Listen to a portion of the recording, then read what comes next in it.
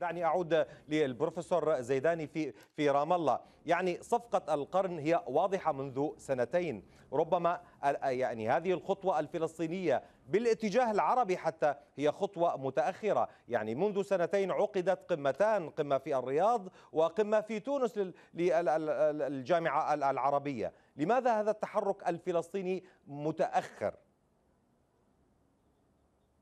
يعني هنالك عجز فلسطيني آه، واضح وفاضح آه، يعني على هذا المستوى. يعني كان على الطرف الفلسطيني أن يعمل ما يجب عمله آه، سواء على من حيث التحرك السياسي على المستويات المختلفة العربية والإفريقية والإسلامية والأوروبية وكذا على مستوى مجلس الأمن والجمعية العامة المتحدة إضافة إلى التحرك على مستوى المجتمع المدني آه، في أوروبا وأمريكا. يعني هذا من ناحية.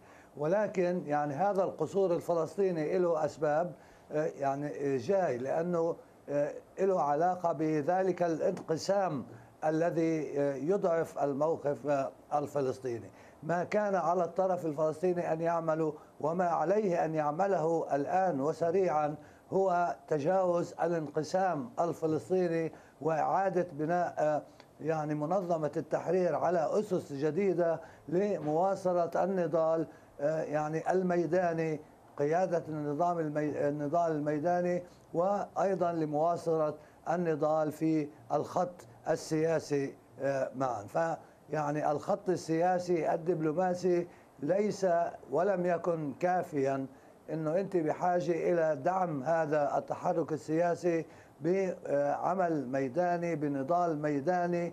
وهذا النضال الميداني لن يتأتى إلا إذا تجاوزنا واقع الانقسام وأنتجنا قيادة موحدة متجددة اللي تقود هذا النضال من أجل التحرر آه، والاستقلال. نعم